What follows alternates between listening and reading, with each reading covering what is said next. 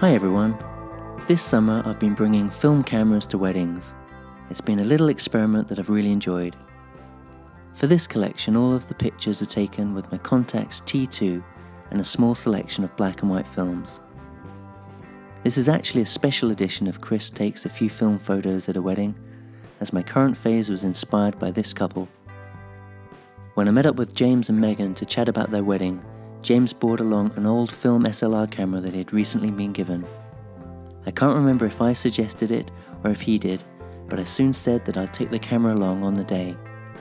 Unfortunately, I don't have much practice using a fully manual camera that requires a light meter, and I didn't think a wedding day was the best time to learn. So on the day, I just got a few pictures with his Pentax, but otherwise used my Contax T2 for the film photos.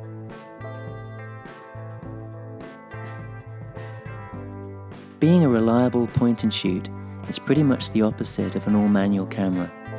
However, as James had expressed a love of black and white photos, often with a lomo look, embracing grain and blur and light leaks, I chose a grainy Ilford Delta 3200 as my main film and tried to take some interesting shots.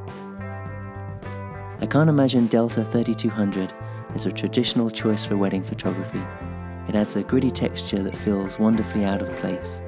But when the time's right, I like to unwedding weddings, and some strong black and white film grain does the trick nicely. I hope you enjoy the pictures. Thanks everyone for watching, and thanks for subscribing.